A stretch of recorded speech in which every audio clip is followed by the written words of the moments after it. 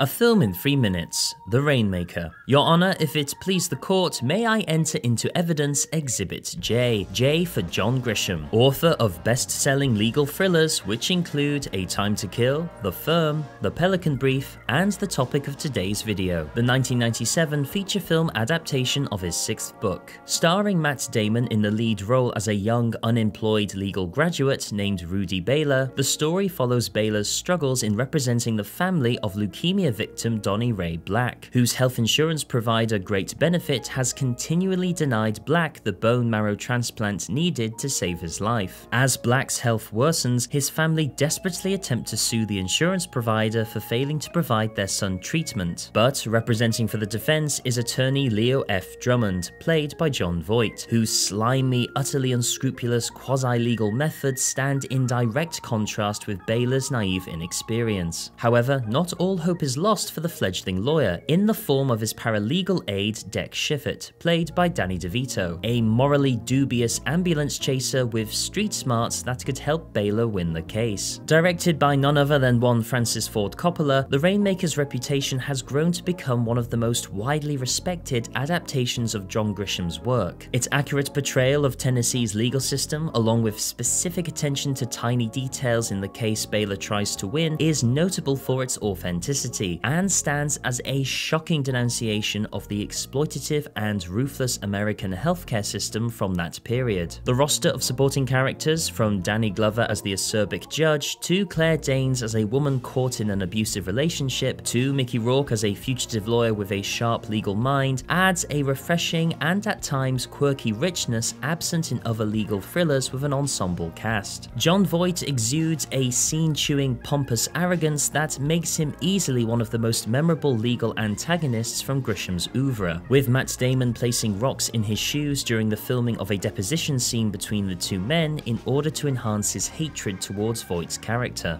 Damon, for his money, gives his best performance from his early career, playing the at times hapless Baylor with a charming likability who shines at his best when faced with the onslaught of overwhelming legal odds. The many scenes involving legal skullduggery, such as when Baylor's office is bugged by opposing counsel, tussle with listening devices, leading to a hilarious faked attempt at tampering with a jury member, provides insight into the many nuances and questionable methods law firms have undertaken in the real world, making The Rainmaker not just a convincing taut legal drama, but easily one of the most eye-opening movies to date that delves into the American state's legal system, whilst at the same time not losing sight of what the letter of the law is really about, the dignity and sanctity of human life. And with that, Your Honor, I rest my case space.